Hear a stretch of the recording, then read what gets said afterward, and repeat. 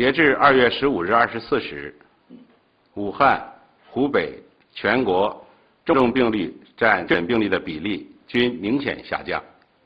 其中，武汉重症占确诊病例的比例由一月二十八日的最高点百分之三十二点四，波动下降至二月十五日的百分之二十一点六。湖北其他地市重症占确诊病例的比例由一月二十七日的最高点百分之十八点四，下降至二月十五日的百分之十一点一。全国其他省份重症占确诊比例的比例由一月二十七日的最高点百分之十五点九，下降至二月十五日的百分之七点二。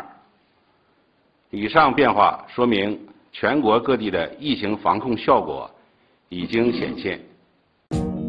更多精彩尽在中国新闻网客户端。